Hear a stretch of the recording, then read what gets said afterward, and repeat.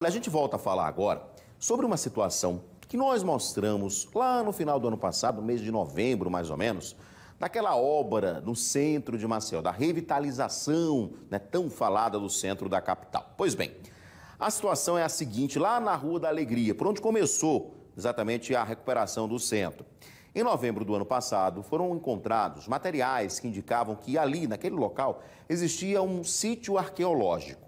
A obra, à época, chegou a ser paralisada, mas logo após foi retomada a passos lentos, após um acordo entre a Prefeitura e o IFAM. O IFAM é o Instituto do Patrimônio Histórico Nacional, que cuida exatamente da história do Brasil, não é? Nós mostramos várias vezes aqui a situação, inclusive, dos comerciantes do local que reclamam já há meses dos prejuízos por conta da interdição da rua, que ia ser rápido continua demorando e a obra não acaba nunca. Durante essa semana, o Instituto do Patrimônio Histórico e Artístico Nacional, o IFAM, notificou a Prefeitura de Maceió por conta da retomada das obras. Quem vai explicar para a gente em detalhes é a repórter Beatriz Lacerda. Bia, de volta ao local que nós conversamos lá em novembro, porque a gente trouxe em primeira mão esse caso em novembro aqui no Cidade, inclusive mostrando o que é que foi, foi encontrado por aí, né, Bia? Boa noite. Isso, no dia 11 de novembro, Edson, nós estivemos aqui na Rua da Alegria, no centro de Maceió, para dizer que as obras de revitalização tinham sido paralisadas, porque os operários encontraram aqui trilhos de bondes do século passado, além de vários elementos históricos que seriam datados da pré-história, dando a entender que aqui havia um sambaqui, um sítio arqueológico. O IFAM veio, acompanhou uma parte desse trabalho aqui com, encontrou esses elementos que foram todos levados para estudo. E naquele momento as obras ficaram paralisadas e só poderiam ser retomadas respeitando um, um processo formal, legal.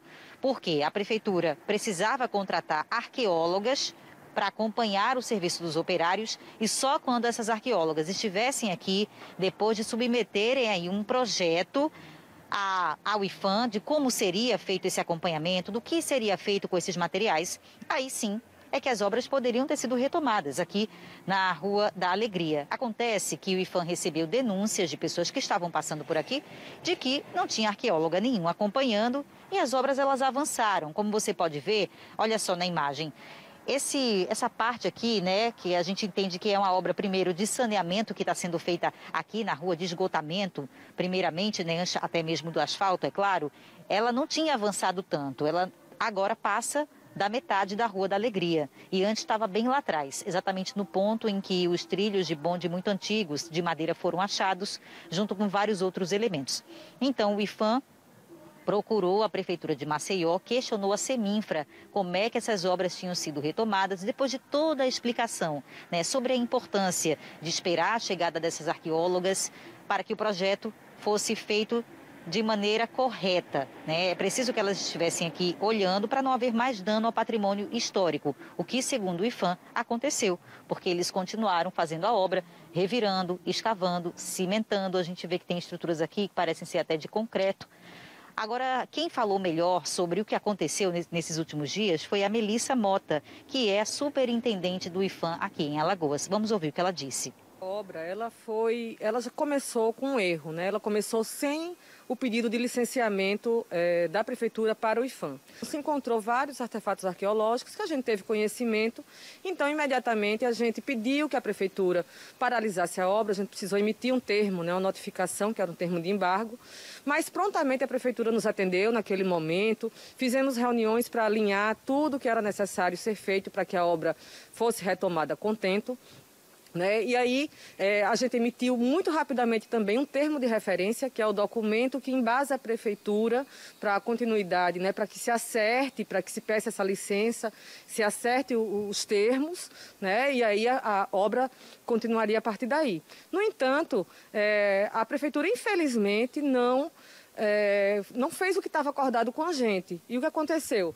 É, apesar dela já ter encaminhado o projeto, que encaminhou no final do ano passado, apesar de né, houve uma demora, um lapso de tempo, então encaminhou no final do ano passado, mas aí já é, antes de a gente aprovar esse projeto, que precisaria do acompanhamento de arqueólogas no local, a prefeitura retomou né, essa obra. Então, assim, não, a gente não gosta de, de, embargar obras, não é do nosso interesse, a gente entende a importância dessa obra para o comércio, para a comunidade. Né? Então, não havia necessidade de ter sido retomada, porque até na última sexta-feira saiu um diário oficial a portaria das arqueólogas que acompanhariam esse, essa obra. Então, a prefeitura, na verdade, né, se antecipou e voltou, começou a obra sem o acompanhamento arqueológico.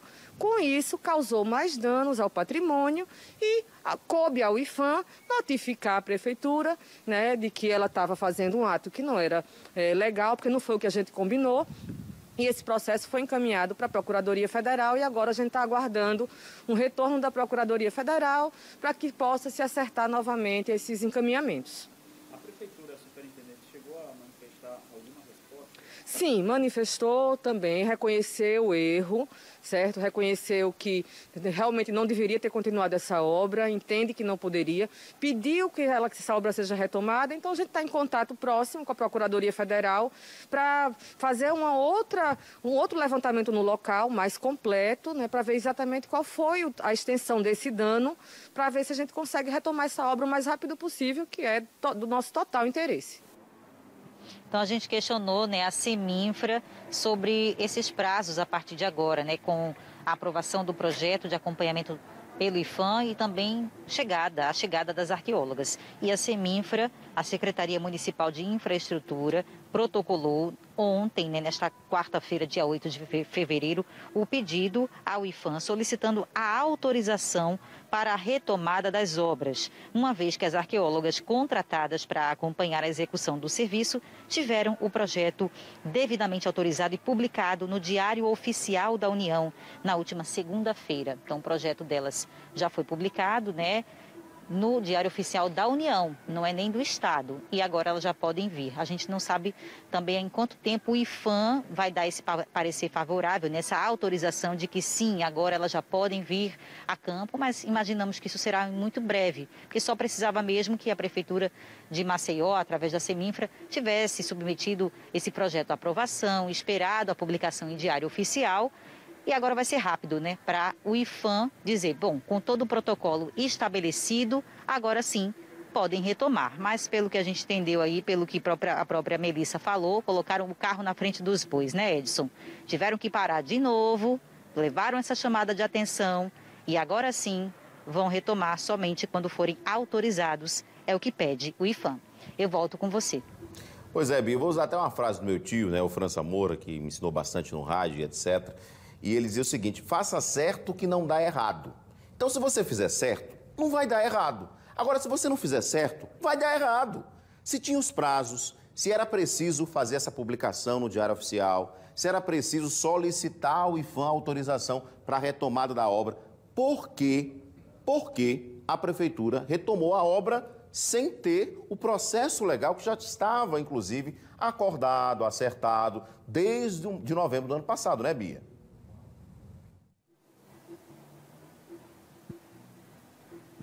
Isso, né? Desde o dia 11, a prefeitura é, houve uma reunião, né, com vários entes informando sobre a importância de estudos profundos nessa região, né? Não é em todo lugar que existe um sambaqui.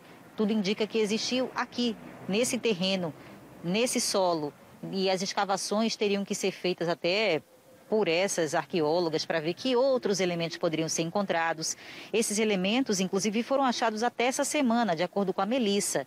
Eu conversei com ela agora há pouco, ela disse, Beatriz, quando a gente foi fazer aí uma nova fiscalização de rotina, até hoje, quando a gente passa aí e olha por algum tempo, a gente ainda encontra esses vestígios arqueológicos. Então, por isso que era importante ter se esperado esses prazos, porque todos esses elementos, eles têm sim uma importância muito grande para quem estuda, para quem pesquisa, para a gente entender a nossa identidade cultural né, e histórica. E esses elementos não foram tão valorizados assim, pelo menos aqui na Rua da Alegria, mas com o que já deu para levar, a gente espera que eles possam fazer um bom trabalho de pesquisa. Eu volto com você. E que tudo, agora com o processo devidamente né, legal, enfim, com autorização, com os prazos, seja retomada e essa obra acabe, porque os moradores, né, na verdade aí são mais comerciantes do que moradores, os comerciantes estão amargando prejuízo já há alguns meses, né, Bia? Porque não dá para passar carro, o prejuízo, inclusive, muitas pessoas deixam de passar pelo local, porque tem entulho, tem construção para levar uma queda, para se machucar. Então, assim, o fluxo, com certeza, de pessoas na rua caiu. E os comerciantes, tem muitas lojas aí, praticamente todos os estabelecimentos aí são comerciais, né, estão nesse prejuízo desde novembro do ano passado, né?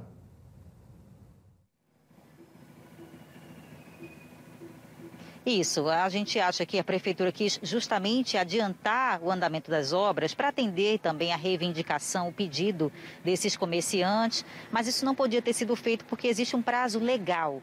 Tanto é que, mais uma vez, precisaram parar o que estava sendo feito aqui para esperar a chegada das especialistas e fazer tudo conforme o IFAM indica e orienta, mas com certeza, para quem trabalha aqui, está sendo um prejuízo muito grande, mas vale salientar que quando a obra foi paralisada no dia 11 de novembro, então a prefeitura passou aí mais de um mês para submeter o tal projeto ao IFAM. Então, o IFAM também diz que foi a prefeitura que demorou para apresentar o projeto e as arqueólogas que seriam contratadas. E por conta desse atraso todo, é que a obra não foi liberada até agora.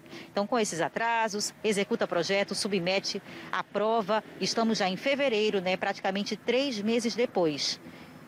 E aí, ó, tem muito serviço por aqui, viu? Os comerciantes vão precisar de mais um pouquinho de paciência. A gente espera, Edson, que da próxima vez que a gente voltar aqui seja para mostrar a rua pronta e tudo funcionando como deve ficar.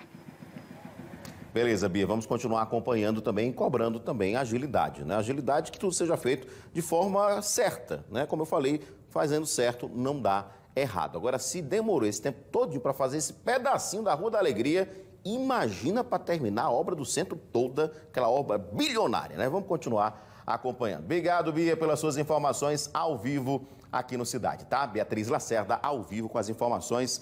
Vamos continuar acompanhando essa novela, né?